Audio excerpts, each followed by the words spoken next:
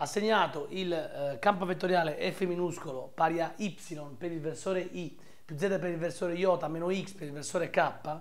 e la superficie S xyz appartenente a R3 tale che x quadro più y quadro più z quadro sia pari a 16 con z maggiore o uguale di 0 orientata verso l'alto, ci chiedono di calcolare il flusso del rotore di F attraverso la superficie S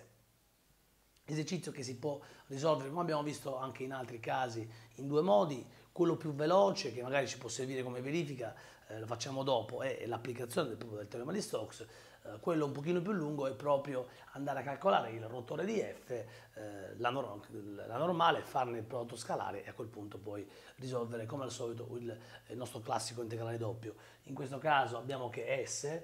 che come vedete è una sfera, una semisfera, eh, si può parametrizzare in coordinate eh, sferiche, in questo caso del tipo, attenzione che parliamo di una sfera di centro all'origine e raggio 4, quindi eh, scriveremo x uguale, ehm, attenzione che c'è da, ehm, in questo caso, eh, ovviamente eh, il raggio lo conosciamo e vale 4, le, i, due, i due parametri, le due incognite sono θ, la colatitudine e la longitudine φ, quindi abbiamo un 4 in questo caso seno di teta coseno di φ, y uguale 4 seno di teta seno di φ, z uguale 4 cos teta. Vi ricordo che io per teta utilizzo, indico la colatitudine e per φ la longitudine. C'è chi invece fa il contrario, è la stessa cosa. In questo caso attenzione che teta è variante ovviamente fra 0 e π greco mezzi, φ è variante fra 0 e 2π greco eh, e a questo punto non rimane altro che calcolare il, eh, calcoliamo l'MN, ovviamente eh, ehm, si potrebbe calcolare la normale che L fratto più o meno radice di G meno F quadro, M fratto M maiuscolo fratto più o meno radice di G meno F quadro e ehm, ehm, N maiuscolo fatto più o meno radice di G meno F quadro. Con la radice di G meno F quadro in questo caso si va a ehm, semplificare con il de sigma che è appunto è radice di g meno f quadro. Quindi non c'è bisogno di calcolare le componenti in tutte quante della normale, ma basta calcolare le costanti L maiuscolo, M maiuscolo ed N maiuscolo. L in questo caso vale, calcoliamo qui sotto,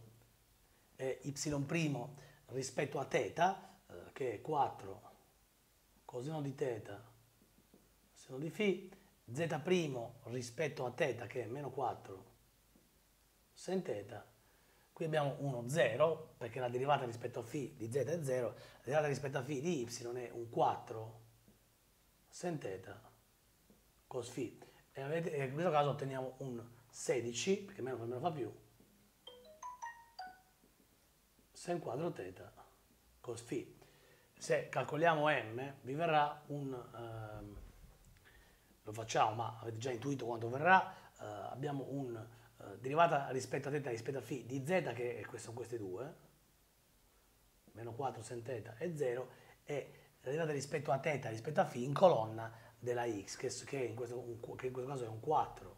cos θ cos φ, ed è un meno 4 sen θ sen φ. E come vedete il risultato è un 4 sen quadro θ Senfi. Calcoliamo n.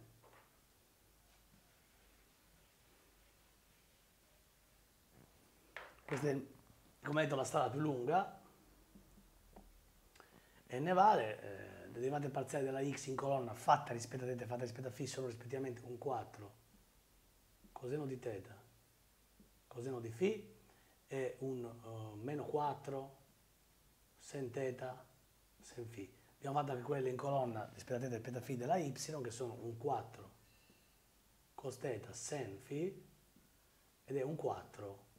sen θ cos φ 16, cos, 16 sen θ cos θ cos quadro φ più 16 sen θ cos θ sen quadro φ 16 sen θ cos θ è il risultato ovviamente perché però raccogliendolo a fattore comune eh, cos quadro φ più sen quadro φ per la prima relazione fondamentale della trigonometria se ne va a 1 e questi sono LNM, N lo scriviamo qua, 16, sen θ cos θ. A questo punto eh, dobbiamo calcolare solamente il eh, rotore del nostro campo, rotore di, questo ce lo danno in, in lettera F minuscolo, come potete vedere eh, abbiamo un, ehm, la, la, prima parte è 0, la prima parte è meno 1, perché abbiamo che eh, z' rispetto ad y è 0, meno y' rispetto a z che è un, ovviamente se questa la chiamiamo x grande, questa è y grande, questa è z grande, no? Abbiamo un meno 1 per il versore i, ehm, x grande primo rispetto a z che è 0, eh, meno eh, z grande primo rispetto ad x, che in questo caso è un 1, perché meno per meno più, più 1 per iota,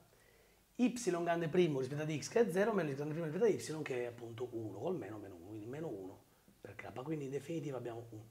meno i più iota meno k, ovvero un meno 1, 1, meno 1 in pratica. E quindi questo abbiamo che il, il flusso eh, del rotore di F attraverso S è l'integrale doppio senso a D, vediamo di che cosa, D, eh, meno, meno 1 per quello, meno 16, sen quadro teta coseno di φ, eh, questo è un 16 ovviamente, eh? ho scritto un 4 ma questo è un 16, meno 16, ho scritto lì un 4 ma era, M ovviamente era un 16, meno 16, sen quadro teta seno della longitudine φ meno 16 sen teta cos teta de teta de φ. Uguale. Andiamo a risolvere. Allora qui possiamo raccogliere questi due vedete questi primi due addendi un meno 16 sen quadro teta e quello che rimane è un cos φ più sen φ. Quindi possiamo scrivere l'integrale decomponendo tra 0 e 2π greco di d φ per integrare fra 0 e π greco mezzi di eh, cos φ più sen φ che moltiplica questo meno 16 sen quadro teta meno 16 sen teta cos teta, tutto quanto in d teta. Allora direi di scrivere un meno 16 davanti, integrale fra 0 di pi greco d. Allora, uh, l'integrale di sen quadro teta, vi ricordo, è un mezzo che moltiplica teta meno sen teta cos teta, no? Ma un mezzo che moltiplica teta meno sen teta cos teta, se non andiamo a comprendere fra 0 e piego mezzi, la parte in 0 è tutta quanta 0, questo è 0 perché il coseno di piego mezzi è 0 e poi il seno di 0 è 0. Rimane solamente un piego mezzi per un mezzo, quindi un pi greco quarti. Quindi qui rimane un pi greco quarti che moltiplica un cos φ più sen φ mentre invece eh, meno 16 abbiamo parlato fuori l'integrale di sen θ cos θ immediato vale sen θ al quadrato diviso 2 e sen θ al quadrato un mezzo sen θ al quadrato compreso fra 0 e piego mezzi è 1, un mezzo perché il seno di piego mezzi è 1, 1 quadrato 1, 1 per un mezzo e mezzo, ma il seno di 0 è 0, 0 per un mezzo, quindi viene un mezzo. Quindi qua abbiamo un più, un mezzo, tutto in dφ. Io ho fatto così, ovviamente poi ognuno lo può fare eh, in vari modi. Ehm, ma se andiamo a risolvere a questo punto, allora che intanto possiamo scrivere meno 16 quarti e un meno 4 pi greco integrale fra 0 e 2 pi greco di cos φ più sen φ. Tutto questo è 0 però. Perché la primitiva di cos φ è sen φ tra 0 e 2 pi greco è seno di 0 e seno di 2 pi greco sono entrambi 0. La La primitiva di sin phi è meno cos phi, ma tra 0 e 2π greco è 0, perché eh, viene uno, una cosa meno l'altra, viene sempre 1 meno 1, 0. Quindi in pratica abbiamo un uh, meno 16 mezzi, quindi un meno 8 integrale fra 0 e 2π greco di dφ, ovvero un meno 16 π greco, che è proprio il risultato di questo esercizio, meno 16 π greco. Questo è un modo, l'altro modo, molto più veloce evidentemente, è quello di applicare il teorema di Stokes. Ovvero, il teorema di Stokes, ve lo ricordo, in forma ah, di campo vettoriale, eh, si può esprimere in questo modo, l'integrale superficiale esteso ad S del prodotto scalare fra il rotore del campo vettoriale F e la normale n uscente da S in de sigma può essere scritto come l'integrale curvilineo esteso al bordo della superficie S, in questo caso eh, percorsa nel verso coerente antiorario positivo del prodotto scalare fra il campo vettoriale F e il, ehm, il versore tau, versore tangente al bordo di S, tutto quanto in ds. Eh, n quindi è la normale uscente da S, tau è il versore eh, tangente al bordo di S, ovvero eh, la formula quindi integrale S ad S del rotore di F minuscolo, in questo caso scalare n in ds di sigma è l'integrale esteso al bordo di S del prodotto scalare fra f e il versore tangente al bordo in ovviamente ds. Eh, chi è il bordo di S in questo caso? Beh, il bordo di S è un cerchio di centro d'origine e raggio 4, x uguale 4 cos t, andiamo a parametrizzarci il nostro, il nostro bordo, la nostra curva bordo di S, y uguale 4 cm e z ovviamente uguale a 0 con t eh, chiaramente compreso fra 0 e 2π greco. Oh, questo è un attimo perché eh, abbiamo che